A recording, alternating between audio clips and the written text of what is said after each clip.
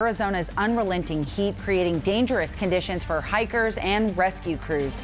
Thanks for joining us tonight, everyone. I'm Rachel Cole. Now, Mike Gonzalez, thanks for being with us tonight. Despite the scorching heat, some hikers still have not learned their lesson. Crews were called out to rescue multiple hikers who were simply overcome by the extreme heat. That's right. And Team 12's Nicole Zymek spoke with crews about the problem they tend to see on a daily basis. Nicole?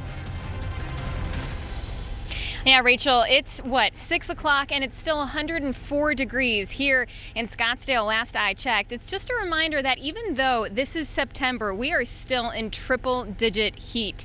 And that made for a very busy day for not only Phoenix, but also Scottsdale fire departments with three separate mountain rescues. The first one happening here on Camelback Mountain on the other side on Cholla Trail. Firefighters had to actually help down two women who were dehydrated. They were able to make it down the mountain, but they needed needed some help from firefighters. That wasn't the case with a 15 year old boy on South Mountain. He wasn't able to get down by himself. He was part of a group of teens hiking with adults when they all started showing signs of dehydration. The boy had to be flown off the mountain by a helicopter. The rest of the group made it down with the help of firefighters. And Scottsdale firefighters helped two tired hikers off of Wingate Pass Trail. Phoenix firefighters want to tell everybody that if you're planning a hike for the next day, the best day to start, uh, the best time rather, to start hydrating is the night before, not when you're thirsty and already on the mountain. And they say that these are the signs you should be watching out for.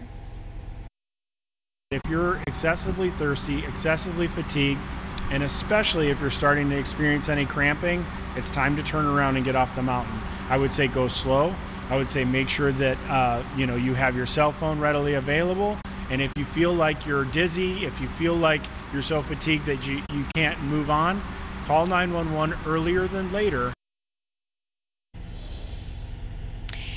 And another tip that Phoenix firefighters have is if you're halfway through your water, that should mean to you that you are halfway through your hike.